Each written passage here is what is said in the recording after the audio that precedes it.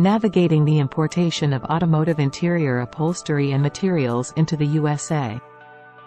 Welcome to our comprehensive discussion on importing automotive interior upholstery and materials into the USA. In this video, we'll explore the process and key considerations for importers looking to bring such goods into the country.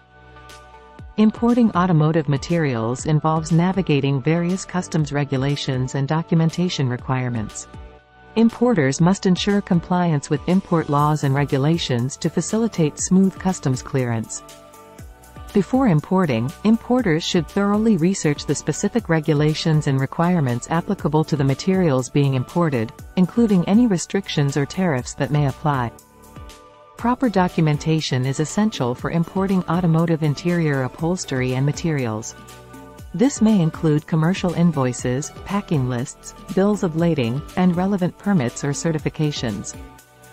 Importers should work with experienced customs brokers who specialize in handling automotive imports to ensure compliance with customs regulations and efficient customs clearance.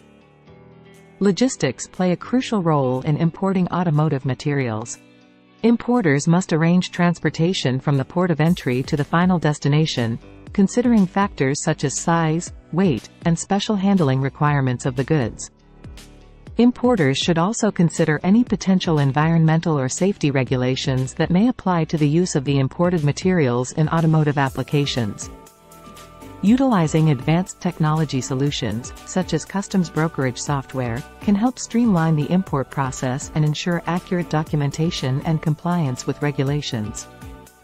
In conclusion, importing automotive interior upholstery and materials into the USA requires careful planning, adherence to regulations, and collaboration with experienced customs brokers and logistics partners.